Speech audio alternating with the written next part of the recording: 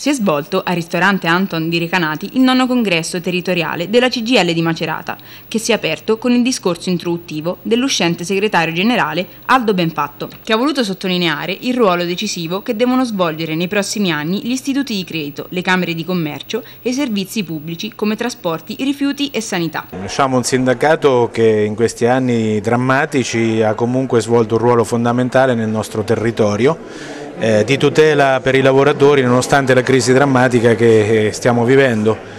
Eh, mi auguro che il sindacato, io sono convinto che lo farà, che la CGL sarà sempre più presente all'interno dei luoghi di lavoro,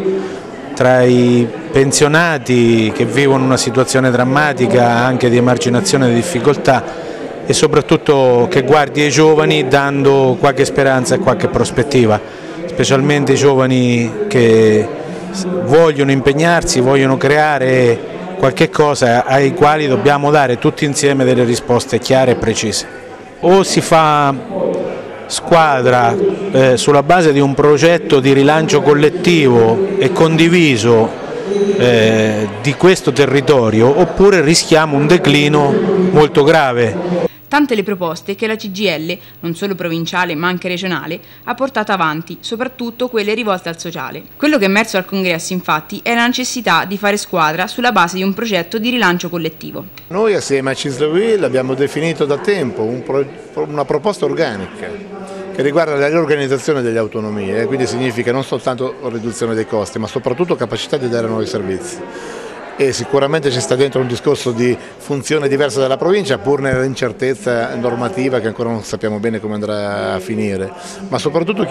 crediamo molto nella gestione associata dei servizi comunali a livello sovracomunale, di ambito, tutti i servizi e qui stiamo spingendo, invitiamo anche le autonomie locali di superare i campanilismi e mettersi in discussione. Ora dovremo col congresso essere in grado di rilanciare, fino ad ora abbiamo lavorato molto in difesa, invece dobbiamo trovare le ragioni per passare all'attacco, quindi abbiamo proposte concrete su cui misurarci sia a livello nazionale che regionale e anche in questa provincia, quindi questo è il compito di un sindacato, di una CGL che augura, ci auguriamo che da questo congresso esca anche più unita e più forte. Il quadro economico, normativo complessivo è un quadro estremamente penalizzante. Stiamo assistendo a un costante arretramento del perimetro dello Stato, della pubblica amministrazione in generale sul territorio. Noi in questi anni abbiamo cercato dire, di mettere in campo delle logiche di difesa dello spazio pubblico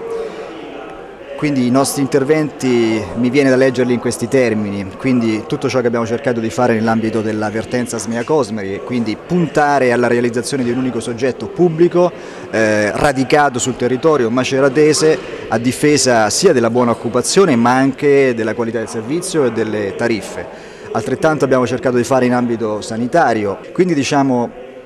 a livello locale, stiamo cercando vertenza per vertenza di eh, tenere, eh, dice, tenere botta, quindi cercare di, di reggere e tenere i sistemi all'interno dell'ambito pubblico. Penso che questa sia la sfida, eh, come dire, non solo a livello alto ma quotidianamente praticata vertenza per vertenza. Tante anche le lotte che il sindacato e i suoi delegati hanno intrapreso per migliorare i bisogni e le esigenze dei pensionati, dei lavoratori e dei giovani e per accrescere le imprese stesse. Siamo di fronte eh, forse al passaggio più critico degli ultimi cinque anni, siamo di fronte a un disastro. È chiaro ed evidente che bisogna lasciare la strada perseguita negli ultimi 20 anni e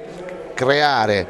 i muratori se ne intendono, una nuova strada, cioè quello che va verso la sostenibilità, il rispetto ambientale e soprattutto i, nuovi metodi nel costruire, perché è solo così che il settore può ritrovare eh, la luce. Anche nel settore del commercio viviamo situazioni di cassa, cassa, integrazione, di contratti di solidarietà. Io stessa sono una lavoratrice in contratto di solidarietà per un anno. E l'assoluta mancanza di regole che c'è adesso in questo settore purtroppo ha portato a questo, non ha portato eh, nuovo lavoro, nuovi posti di lavoro, l'apertura selvaggia di nuovi centri commerciali non porta al lavoro e soprattutto non porta a buon lavoro. Molti i dati negativi che la CGL ha registrato negli anni colpiti dalla crisi anche se qualche piccolo segno positivo, soprattutto per quanto riguarda l'estero, fanno ben sperare in una piccola ripresa. La FILCTEM eh, ha più di un comparto, ovviamente parlare di una sintesi della FILCTEM è complicato, però possiamo dire che eh, i settori della moda, del manifatturiero in generale, che sono quelli che la crisi l'hanno risentita per primi,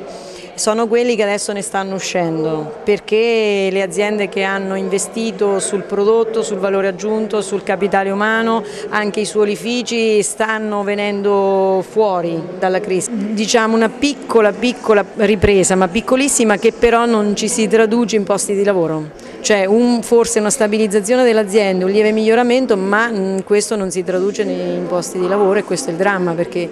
i giovani non trovano occupazione.